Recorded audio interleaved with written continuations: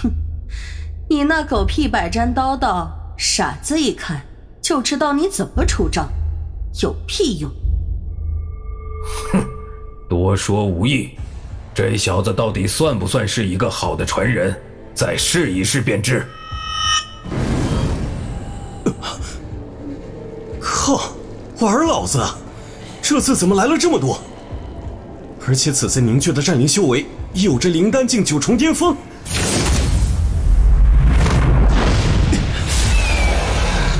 这到底是怎么回事？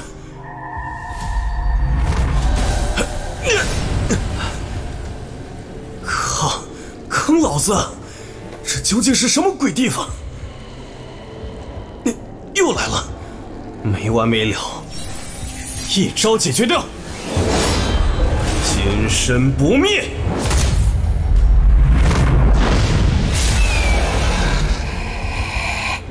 什么？竟然还可以重新凝聚，这是要玩死老子啊！惊艳一刀，怎么又回来了？怎么回事？斩出去的灵气又回到我身体里了。遮天手，什么？连遮天手的灵气也尽数退回身体了。什么叫做作茧自缚？什么叫不作死就不会死？我可算懂了。除了石壁上那四种刀法，任何战技神通都不能在这个石室当中使用。既然如此，那爷爷我就只用刀法。想要玩，那就好好玩玩。雾里看花，横扫千军，横冲直撞。哈哈哈，痛快，痛快！此子了不得啊！他到底怎么做到的？同时感悟你我二人的刀道。我有一个想法。不用你多说，我也想到了。这小子灵气消耗太多，可以停止阵法，跟他见见面了。啊！战灵停止进攻了。呃这些战灵居然化作灵气冲入了我体内，这些淡蓝灵气竟然还有洗净法髓之效。灵丹境五重天，哈哈哈哈！没想到厮杀过后还有这般好处。小子，今日你可让我们开了眼。啊是。没想到你越战越强，甚至淬炼肉身。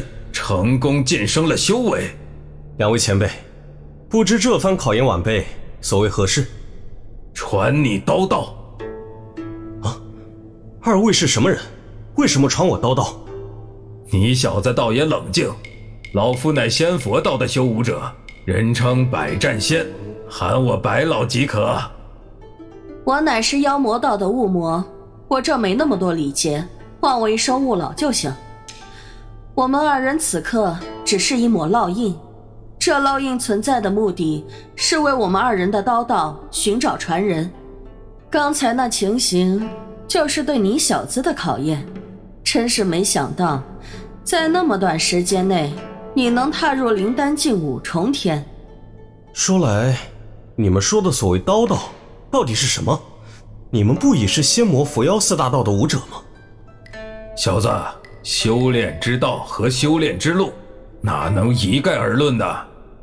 修炼之道，修炼之路，这两者之间难道还有什么区别？所谓修炼之道，无非仙、魔、佛、妖四大道。形象点来说，就像我们修炼者前行的道路各有不同。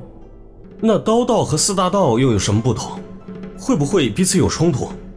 小子，仙、魔、佛、妖四大道是修行大道，所谓刀道却是你如何走这道路的方法。如擅长控火的仙修武者，就是以火行之道来走仙道之路，刀道就是以刀来走你今后的路。修炼之路更像是找到属于自己的核心之路。一名武者，无论他涉猎如何之广，总有他专精的一条路。一直以来，我凭借着日月轮回秘法，无论何种战技都能信手拈来，甚至能发挥出更强的威力。但无论怎学习，我都没有走一个专精之路，别说开发出一套属于我自己的核心战法了。可是我有点不能确定，晚辈修炼一种秘法，这种秘法对于修炼战界神通倒是事半功倍，而且更能在原有基础上增强威力。这种修炼神通虽然罕见，却也并非没有。不过小子，你误解了。我误解了。战技神通凝聚灵气施展而出，它有迹可循，有形可查。但修炼之路的道，重在于感悟于心。你能很快学会石壁的基础刀法，是你适合刀道。仙道刀法，你发挥了清清白白、堂堂正正之韵；魔道刀法也打出了变化莫测、狠辣凶厉。至于佛道道法，则刚猛无比，同样入木三分。这妖道道法。气势如虹，舍我其谁，更施展得淋漓尽致。呃，倒是没想到我竟然如此了得。你修炼的神通乃仙道之流，肉身乃佛道之流，气息乃妖道之流，天资之高已经骇然听闻。能领悟这三道刀式，合情合理。但我不明白的是。你身上毫无魔道痕迹，怎么还能领悟魔道刀式？